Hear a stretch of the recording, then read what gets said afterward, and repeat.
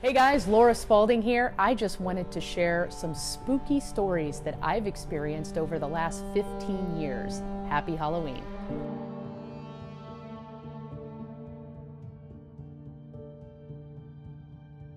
So, a couple years ago, we got a call from a lady who wanted us to clean out a hoarded property that she had, but she wasn't present.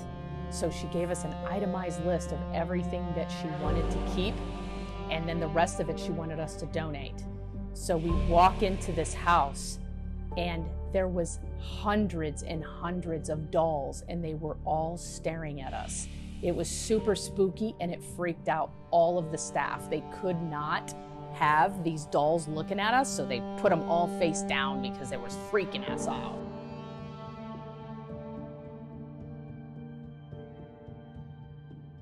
So, about eight to 10 years ago, we got called to a murder suicide. It was super, super sad.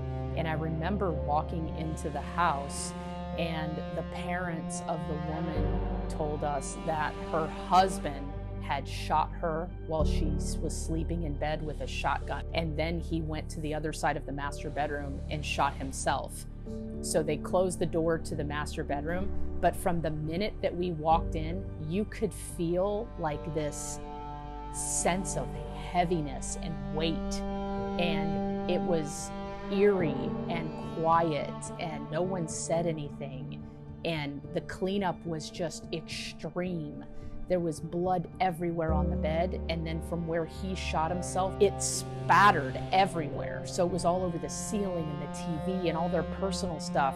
And it just goes through your mind like, what was the conversation? What was the thought process before this happened? And it just, I'll never forget it. it. It's something that has stayed with me for, you know, the last 10 years, but it was just super eerie during the entire two day cleanup. I don't think anybody said a word to each other.